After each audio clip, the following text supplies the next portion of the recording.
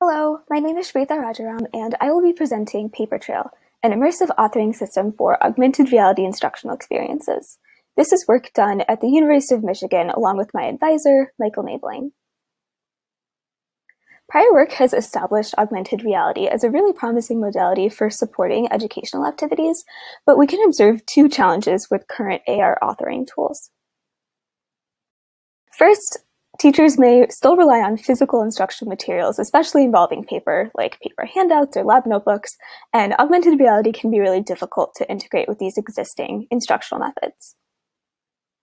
Additionally, AR authoring tools are often geared towards designers and developers, and not specifically towards instructors.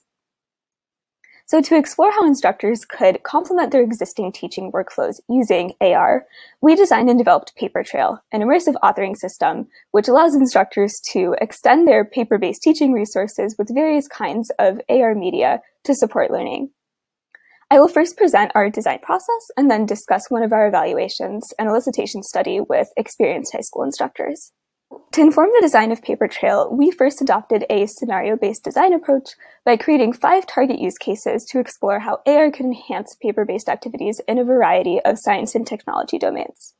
We implemented every scenario on either the iPad Pro or the HoloLens 2 so that we could explore benefits and limitations of both handheld and head-worn AR. This immersive chemistry lab notebook allows students to integrate a variety of digital media with paper using head-worn AR. They can insert audio clips to record observations while performing an experiment, annotate digital images, and refer to a video for the procedure. In our biology poster example, an instructor extends an existing poster of a cell using clipping masks to selectively hide and show content. Students can expand the clipping masks to zoom into organelles and view details about their functions. To further explore potential interactions to adapt for Papertrail, we developed a design space of immersive paper interactions for instructional activities by synthesizing prior work on interactive paper and AR authoring tools.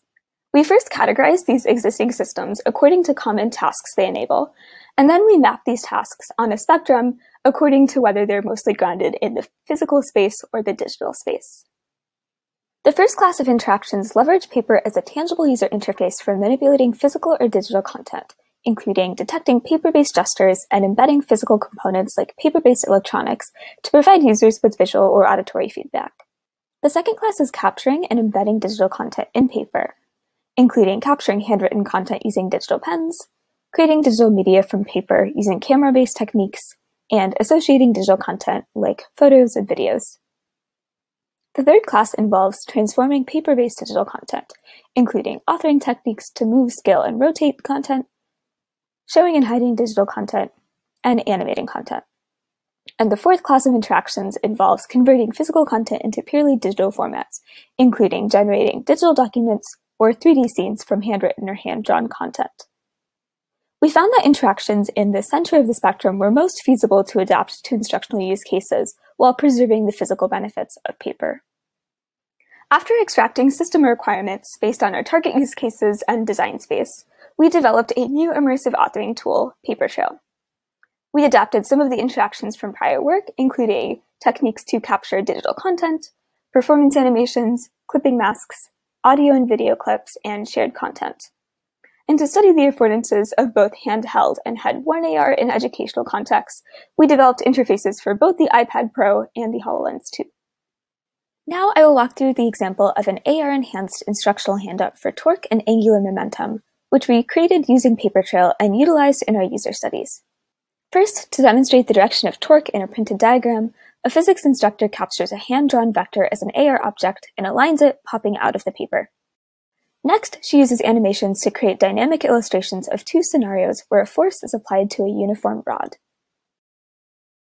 To provide students with hints on a derivation problem, the instructor integrates an audio recording and digital post-its using clipping masks. Students can expand the clipping masks to reveal the hints. Finally, the instructor captures a video of a gyroscope demonstration to provide students with background information within the handout itself. Our paper discusses two evaluations with PhD students and XR design experts to refine the design of Paper Trail, but in this presentation, I will just focus on our elicitation study with high school instructors. So to explore whether and how instructors could envision using AR to complement their existing teaching workflows, we conducted an elicitation study with seven high school instructors who had an average teaching experience of 18 years. In our study, they explored how AR could enhance a variety of topics that they currently teach, including physics and math, sustainable energy, computer-aided manufacturing, cellular biology, and media and research skills. The study consisted of three tasks. First, a walkthrough of a paper-based teaching resource which the teachers brought with them to the study. Next, a review of our AR Torque handout using both the iPad Pro and the HoloLens 2. And both of these tasks were used as priming for the third task, an elicitation task where the instructors proposed and prototyped AR interactions for their paper-based teaching resource, using either the iPad Pro or the HoloLens 2. The instructors prototyped a wide range of interactions to enhance their own teaching materials. A physics instructor prototyped a problem set using AR to simulate how a roller coaster cart is affected by different forces, like spring force and friction. Another instructor adopted a macromolecule building activity where students can directly manipulate and break off molecules to form new carbohydrates. We found that a majority of proposals involved transforming or associating digital content with paper, and a majority of instructors chose to prototype using handheld AR, which they found more practical and efficient for authoring. However, they felt that head-worn AR would actually be a more natural form factor for viewing immersive paper experiences, especially for lab-based activities or collaborative teamwork. In terms of opportunities or benefits that immersive paper could provide to educational contexts, instructors expressed that it could be a really promising modality for supporting students' diverse learning needs. They could engage students with multiple visual and auditory representations of course material and allow them to demonstrate their understanding in multiple ways. Instructors also felt that immersive paper can support adapting established pedagogical models to an AR format. As one example from our study, students could first make predictions about a physics scenario on paper, and then they could use AR animations to simulate the scenario. Although the instructors could brainstorm and propose many ways that AR could complement their existing workflows, um, they still had some open questions about what is the best way to translate students' learning goals into AR interactions. And this raises a need for more concrete design guidelines, which take into account how to also preserve analog um, instructional and learning strategies while introducing AR to paper.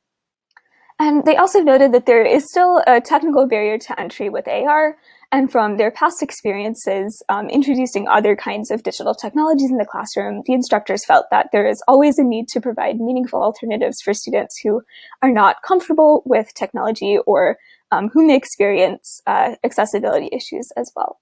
Thanks so much for watching our presentation, and please refer to our paper for more details on our research process and findings from our user studies.